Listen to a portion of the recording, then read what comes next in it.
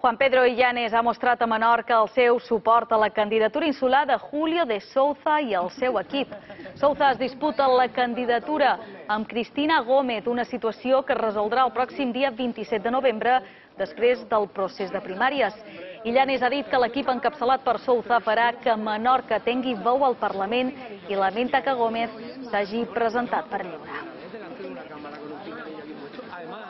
Eh, tot el que sigui, eh, bé, eh, fer converses, tot el que sigui arribar a acords, crec que és molt positiu en política i, i per tant, bé, tenen absoluta llibertat, llibertat per, per parlar amb qui vulguin, que, eh, bé, que, que sigui capaç d'aportar en positiu al, al projecte que oferim a, a Menorca.